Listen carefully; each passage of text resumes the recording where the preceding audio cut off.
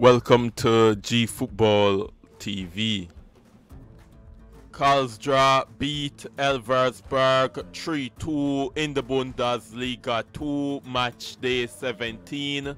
With that win for Karlsruhe, they are 12 on 21 points, while Elversberg, they are 9th on 24 points.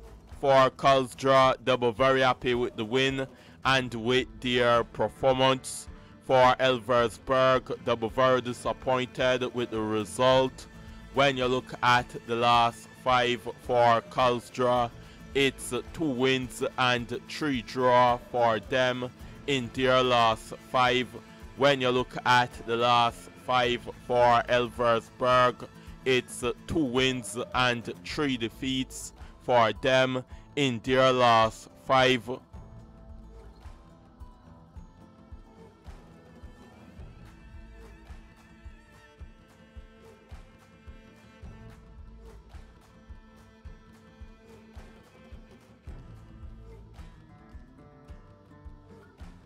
For the latest on the Eredivisie, English Premier League, Bundesliga, Serie A, Liga, the Champions League, Conference League, and Europa League.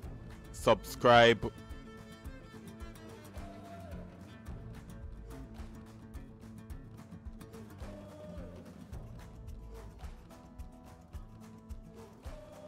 For the latest on the Bundesliga, the Champions League, Serie A, La Liga, Liga, and the English Premier League, subscribe to G Football TV. Subscribe to G Football TV. Subscribe to G Football TV.